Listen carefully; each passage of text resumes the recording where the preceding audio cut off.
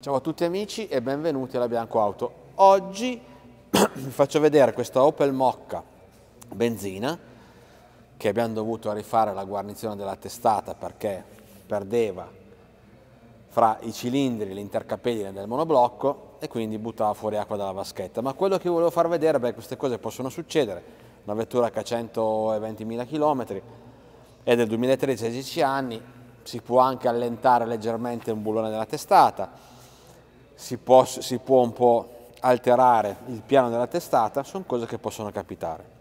La macchina di 10 anni ci sta. Ma quello che voglio far vedere, voglio parlare della lubrificazione. Allora, la lubrificazione che secondo noi è fondamentale in un motore, è come il sangue che abbiamo noi dentro le vene, è la stessa cosa. Praticamente, se mettiamo un lubrificante che non è adatto o lo cambiamo con degli intervalli troppo lunghi, succede questo. Guardate sopra questi pistoni cosa non c'è. Qualsiasi roba. Vedete? Guardate, tutte queste morchie qua, guardate questo pistone qua poi, specialmente dove c'era la guarnizione rotta, vedete? Queste morchie qua sono date sì un po' leggermente dalla combustione che non è perfetta, ma più che tutto sono tutti residui dei vapori dell'olio di lubrificanti che non sono adeguati per questa vettura. Adesso, intanto che si alza il ponte, vi faccio anche vedere sotto che abbiamo dovuto addirittura togliere la coppa dell'olio per andare a pulire tutte le morche perché togliendo il coperchio valvole praticamente c'era, avete presente una marmellata, una marmellata che è data da, lubrif da lubrificanti che non sono adeguati per questa vettura o, o lubrificanti di bassa qualità. La coppa dell'olio l'abbiamo già lavata e pulita, ok? Qua siamo già a posto, ma adesso andiamo a vedere sotto. Così almeno vi rendete conto quando io dico che l'olio va cambiato ogni 15.000 km o una volta all'anno. Anche se avete solo fatto 5.000 km l'olio va cambiato perché perde il potere lubrificante e poi succede questo. Guardate. Vedete? Vedete tutte queste parti qua di marrone? Vedete? Queste qua sono tutte cose che non ci devono essere. Qui dentro era tutta una marmellata.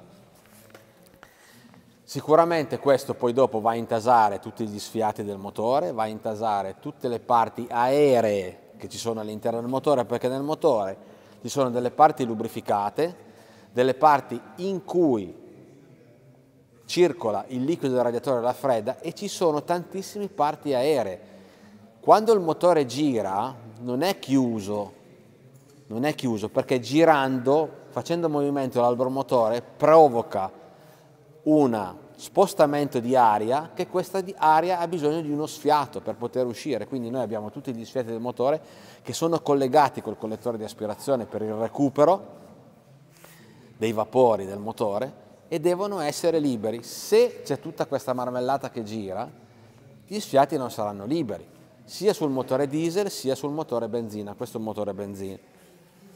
Poi cosa succede? Magari la macchina non tiene bene il minimo, le sonde lambda non funzionano bene, la carburazione non è corretta, la macchina consuma, non si sa il perché, boh, cosa sarà successo.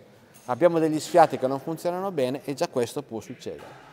Quindi la lubrificazione è il fondamento della manutenzione di una macchina.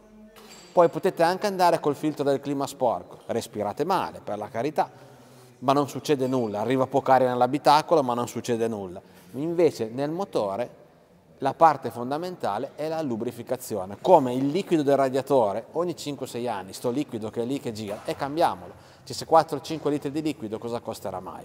Ma avremo sempre l'impianto di raffreddamento perfetto, non avremo un impianto di raffreddamento pieno di morchie, guardate, guardate che roba, questo qua è tutto calcare, perché dopo qualche anno il glicolo etilenico perde di efficacia, come tutte, come tutte le parti liquide che andiamo a mettere nel motore, non è che l'olio è eterno, il liquido radiatore è eterno, è tutto eterno, è tutta una durata, tutta una fine, quindi non c'è una legge scritta su delle tavole, ok? Però c'è il buon senso, quindi se una volta all'anno uno sostituisce il lubrificante, ogni 3-4 anni sostituisce l'antigelo ogni 4-5 anni si sostituisce il liquido dei freni perché va cambiato, addirittura una volta la BMW, o ancora adesso, ma ancora una volta di più, lo dava da cambiare ogni 3 anni, usciva una spia sul cruscotto di cambiare il liquido dei freni, ci sarà un motivo, no?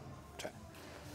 Quindi la manutenzione ordinaria, fatta come si deve, magari nell'arco della vita della macchina spenderete qualche centinaio di euro in più, ma sicuramente non avete gravi problemi che possono derivare da una manutenzione ordinaria mal fatta.